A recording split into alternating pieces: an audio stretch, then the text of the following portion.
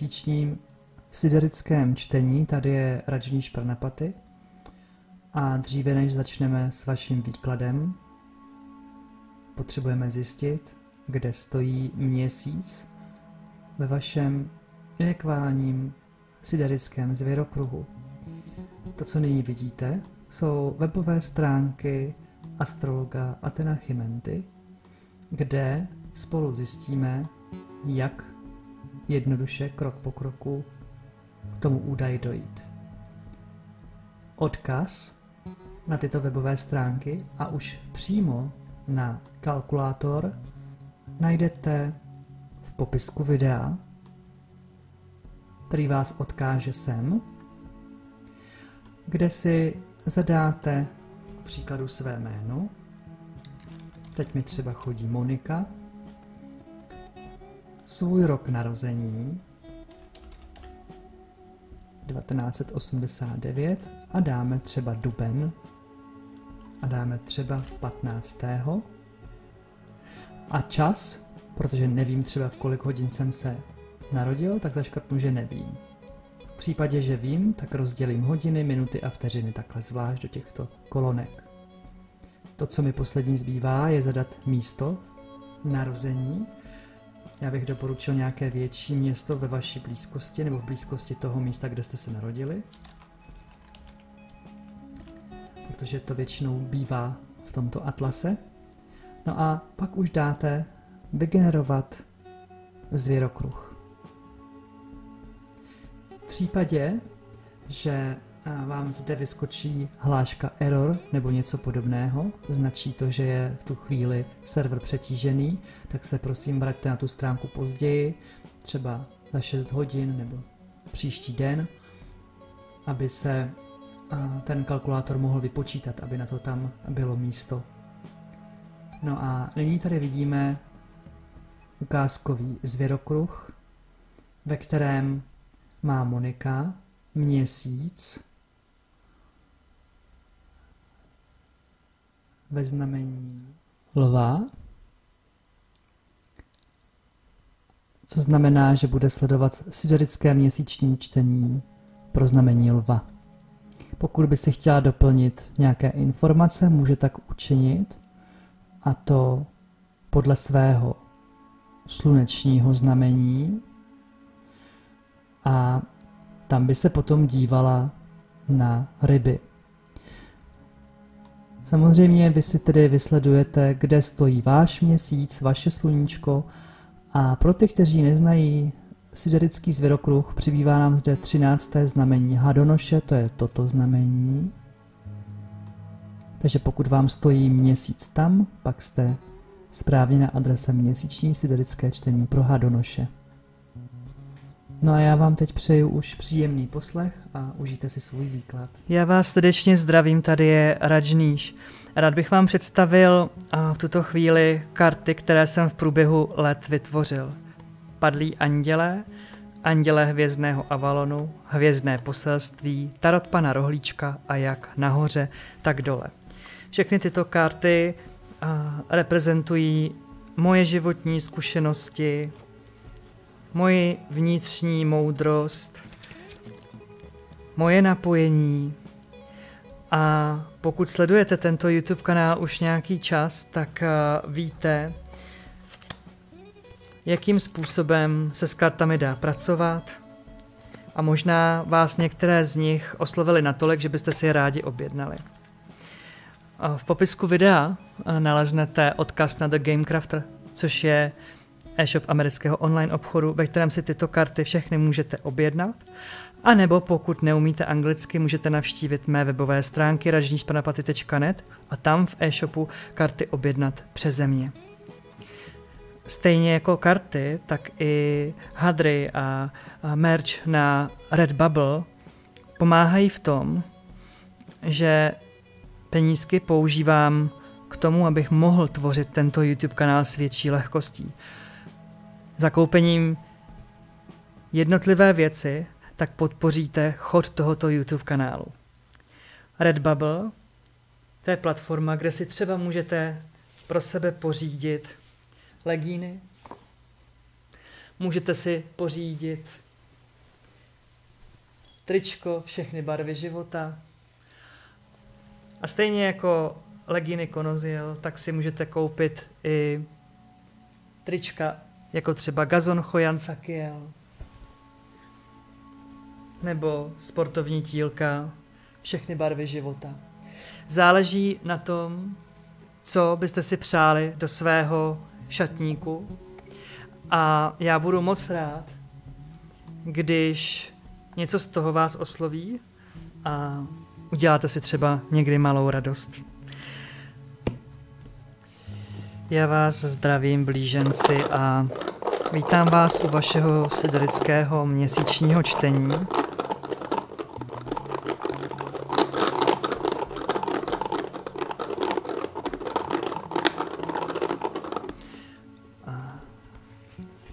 Podíváme se, co špalíčky. Pokud někoho zajímají špalíčky, tak jsem vytvořil roční online seminář Rok se špalíčky, který je k dostání na mém uh, webu v e-shopu. Dá se do něj vstoupit kdykoliv. V průběhu roku je to velmi inspirativní online seminář.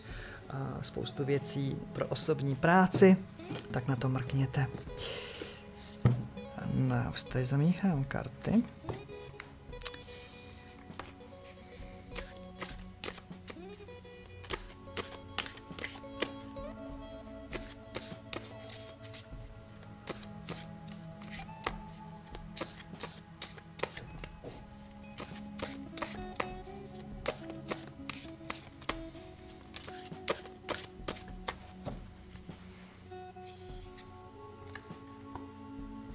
Nevědomost. Andělská křídla.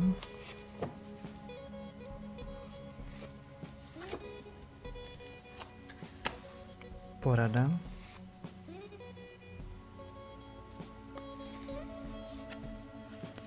Chaos.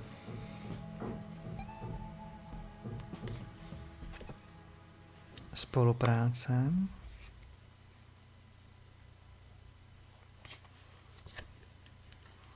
Mapa.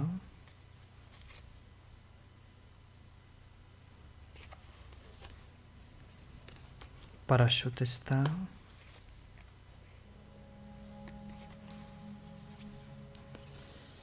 Nit osudu. A vina. Mám dobrý pocit z toho, eh, co je zde uprostřed, protože uprostřed máme kartu spolupráce, která dává dobrý základ pro celý měsíc březen. Je to hodně stabilizační karta, je to taková kotva.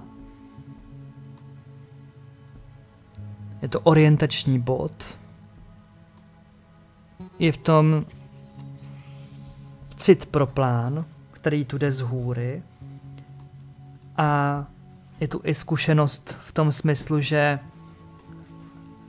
z dobrého si beru pro sebe i to uh, opačné. Život je prožívaný velmi smyslně. Máme tady kartu andělských křídel, chuť. Prožívám život velmi jako chutný. Hmm, užívám si jeho chutě. Zbuzuje to ve mně vášeň. A probouzí se ve mně vůně. Vůně života. A je tady také podpořený plán z hůry. Sudičkami, osudem. A tvoří se tu něco, co bude potřeba časem pustit trošku po vodě, ale teď ten čas není, protože teď přichází čas zdánlivé stability a čas a, pouště. Takže to, co máte zohlednit při svém plánování v měsíci březnu, jsou nestabilní podmínky do budoucna aby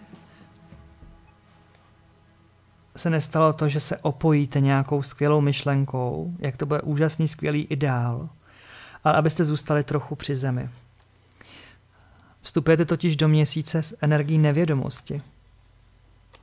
Takže byť tady máme dobrý stabilní základ, je tu prožívání života, mm, je tu podpora plánu, všechno, tak přesto toto nemusí a nebude mít dlouhé trvání a vy to musíte vědět a musíte se podle toho nějakým způsobem zařídit.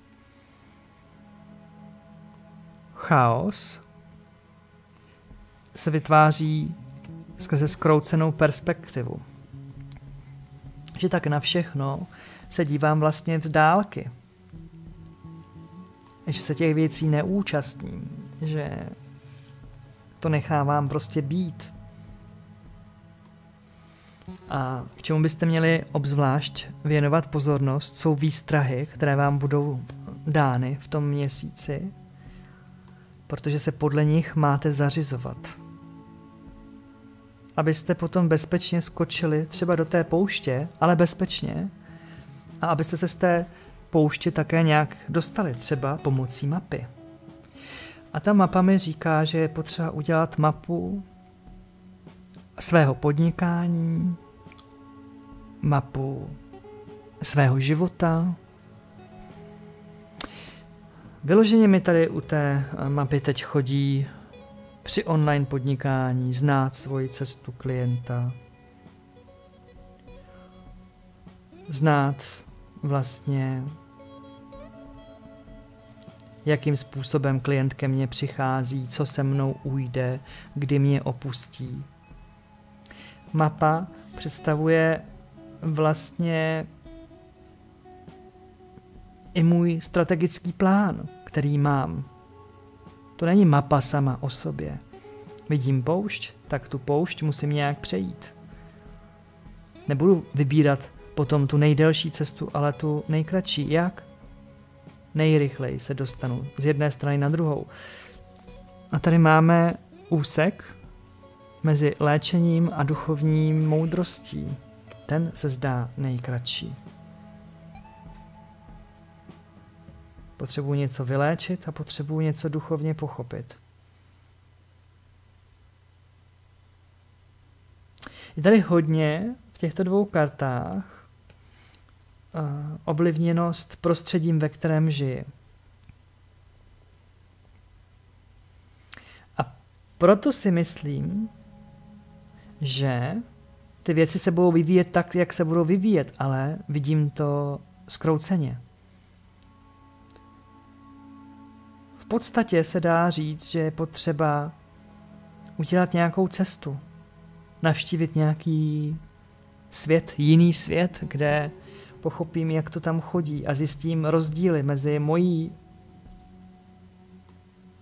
skutečností a skutečností těch druhých.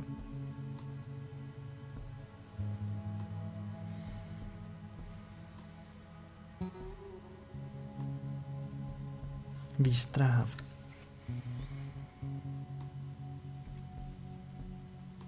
Vyšší proti širokému. Je zajímavé i z toho důvodu, že tady máme pomyslně panu a babu.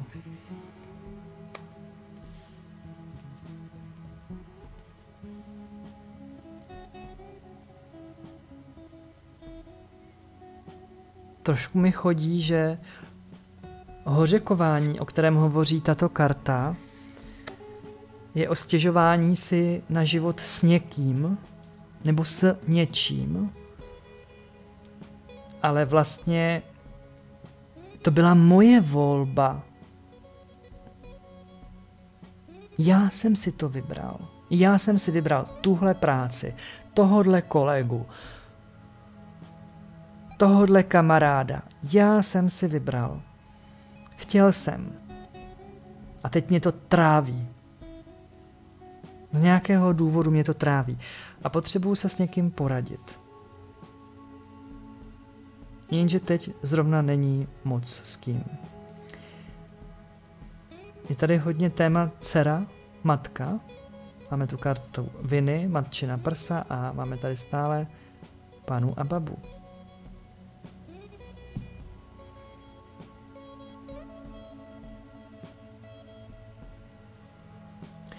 Takže byť tady máme tenhle ten dobrý základ, je tady vidět chaos, který vzniká neujasněností toho, jak věci jsou. Chci je neustále vidět takové, jaké nejsou. Chci je neustále měnit. Chybí tu akceptace, chybí tu přijetí, je tu opojení svými myšlenkami. A pozor, je docela dost možné, že ty myšlenky jsou pro mě zhoubné, protože přináší poušť, ze které se budu muset dostat. Hmm. Můžeme se podívat na špalíčky. Závislost. Může to být závislost na někom, na něčem, ze které se snažím dostat. A proto mám takové přehnané myšlenky, přehnané nápady, ale zdá se, že to není dobrá věc teď odcházet. Možná, že teď bude dobrá věc ještě v té závislosti chvíli zůstat. Kariéra. No, to jsme říkali na začátku. Tady to máme jako dobrý základ. Tam bych uh, se zaměřil na upřímnost. Být upřímný sám k sobě je to nejtěžší, co můžete udělat. Je to neustálé prociťování své vnitřní pravdy. Víš, mám tě ráda, ale cítím, že jsem taky na tobě závislá. A taky cítím, že tě potřebuju. Protože kdybych teď tady nebyla s tebou, tak nemůžu dělat tu svoji práci. Ty mi to umožňuješ. A když potom pomenuju ty věci tak, jak jsou, tak může přijít úleva. Může přijít úleva a ne nutně nějaká změna, kterou chci vydolovat, protože jsem upřímný k sobě, jsem upřímný i k druhému a ten druhý mi řekne, to je v pohodě, já to vím a jsem s tím v souladu. A nebo tak takhle ještě můžeme spolu být pár dní, pár týdnů a pak uvidíme. Že vlastně s tím zmizí takové napětí. Hmm. Tak jo, tak já vám budu přát, ať ten měsíc dopadne dobře. Namějte se krásně. Tento YouTube kanál podpořili trvalí patroni Chandragiri Bansuri Machalová, Žaneta Šustr Marlén, Šulcová Iveta, Svoroňová Zdenka a jednorázový patroni Atrin, Buzek Tadeáš, Cichá Jarmila, Císařová Zuzana Ceralová, Helena Duvková, Vladislava, Ederová Vendula, Filařová Martina, Frýdecký Robert, Gregorová Vladislava, Chotašová Bohdana, Jánošíková Martina, Kalincová Karla Kantorová, Iva Klenková, Adriana Kolínová, Marie Křivánek, Jiří Kucková, Eva Mozešová, Libušan, Golová Simona, Ondráčková, Jana Pisatová, Petra Razimová, Lucie Rozhoňová, Ilona Šaferová, Ivana, Slavíková, Zdeňka Svítící, Veruše, Vachulová, Jana, Vedlichová, Hana Vlková, Petra Zouharová, Marie Žurková, Květa a anonimní patroni. Děkuji pěkně.